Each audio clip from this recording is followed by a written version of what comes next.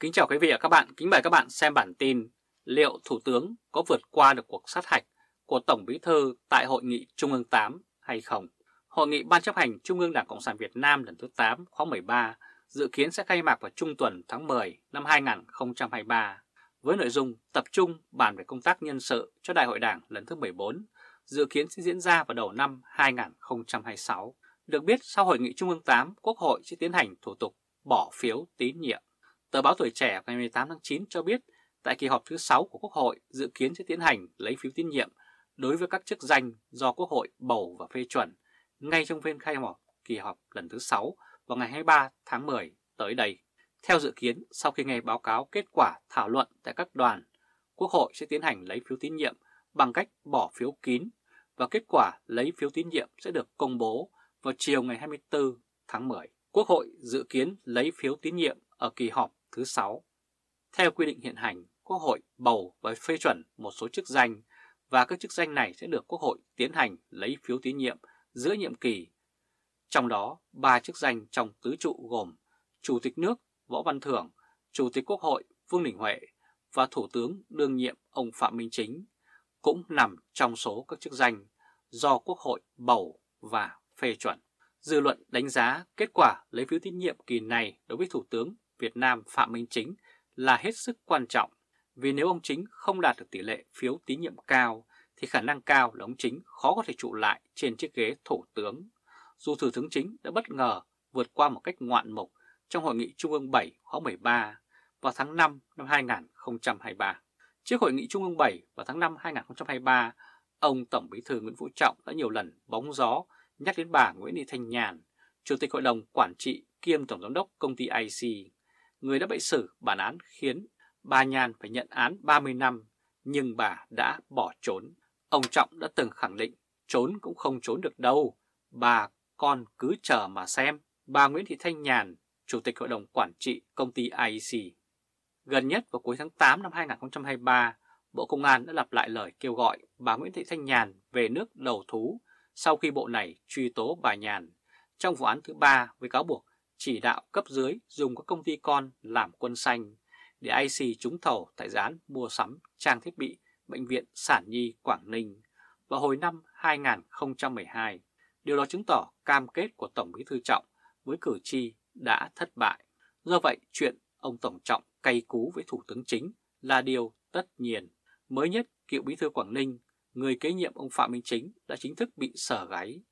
Cụ thể, ông Nguyễn Văn Đọc, cựu Bí Thư tỉnh ủy Quảng Ninh vừa bị Ủy ban Kiểm tra Trung ương đề nghị xem xét kỷ luật do có sai phạm liên quan đến IC, FEC. Ông Đọc là người kế nhiệm ông Phạm Minh Chính ở vị trí Bí Thư Quảng Ninh trong giai đoạn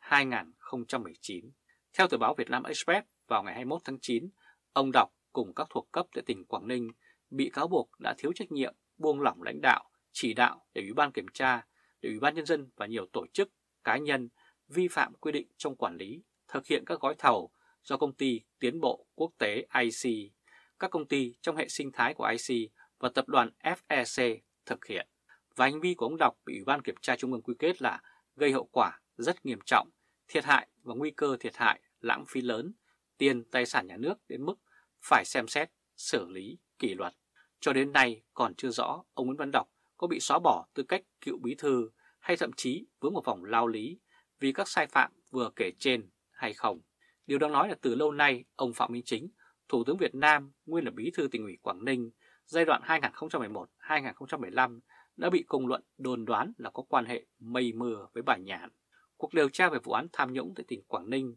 trong thời gian ông Chính là bí thư tỉnh ủy được báo chí trong nước tường thuật như là chuyện không liên quan đến ông này. Nhưng tờ nhật báo Haaretz của Israel thì lại khẳng định ông Phạm Minh Chính bị đưa vào tầm ngắm trong cuộc chiến chống tham nhũng của ông Tổng Bí thư Nguyễn Phú Trọng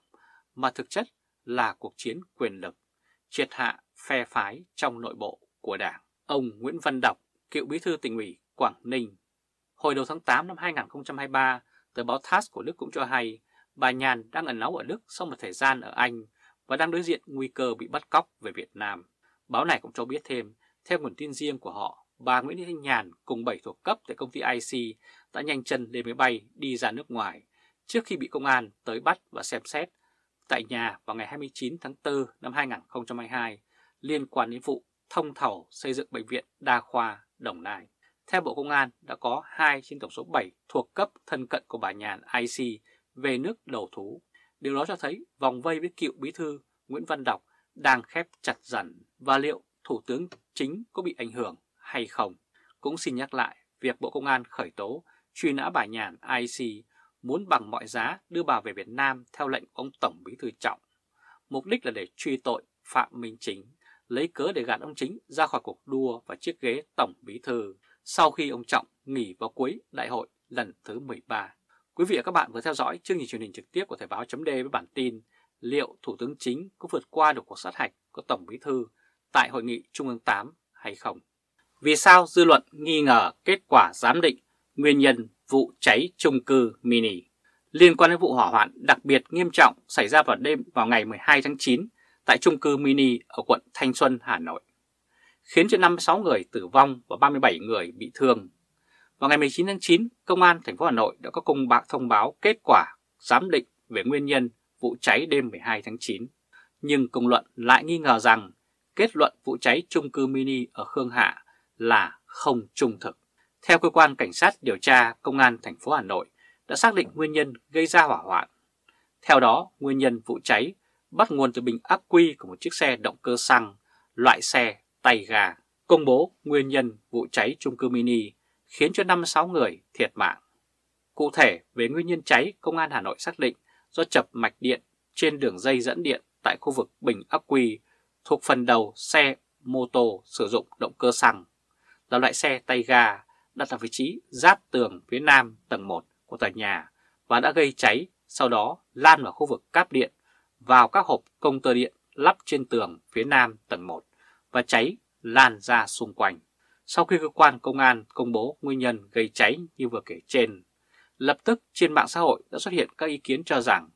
kết luận của cơ quan công an đã thay đổi chiếc xe gây ra đám cháy, đổi từ xe điện thành xe tay ga chạy xăng. Điều đó đã khiến cho nhiều chung cư đã không chấp nhận cho mang xe điện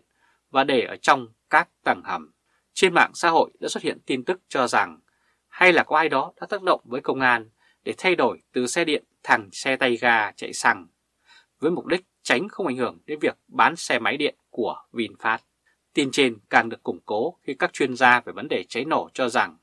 kết quả giám định của cơ quan điều tra có nhiều điểm rất đáng ngờ. Hiện trường vụ cháy Một là đúng ra cơ quan công an chỉ cần kết luận nguyên nhân cháy là do chập điện là đủ. Vì chập điện có nhiều nguyên nhân khác nhau. Tự nhiên sao lại lạy ông tôi ở bụi này, tránh xe máy điện để đổ lỗi cho xe máy chạy xăng làm gì.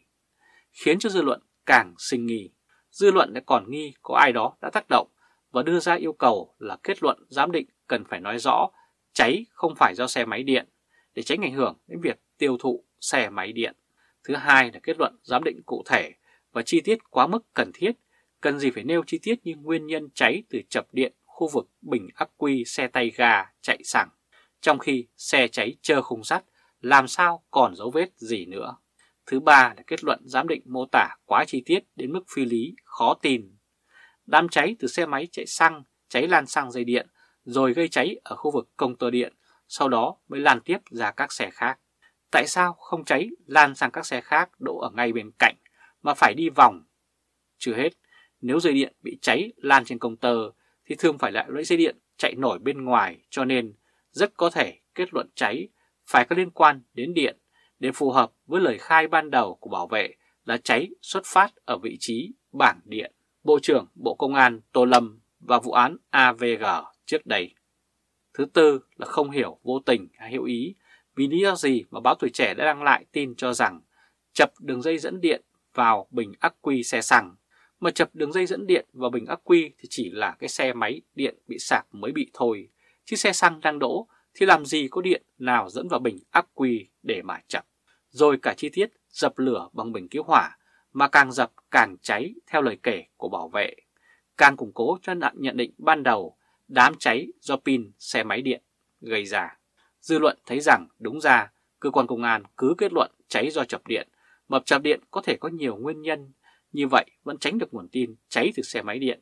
Nghe sẽ có hợp lý hơn, mà vẫn đáp ứng được yêu cầu nguyên nhân cháy không phải do xe máy điện. Kết luận điều tra của cơ quan công an luẩn quẩn như vậy là không thuyết phục, chỉ càng khiến cho dư luận nghi ngờ rằng họ đang chạy tội cho ai đó.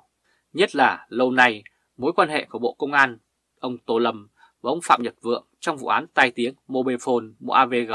vẫn còn đó. Tại sao cơ quan điều tra không nhớ câu đi qua ruộng dưa thì đừng sửa dây giày?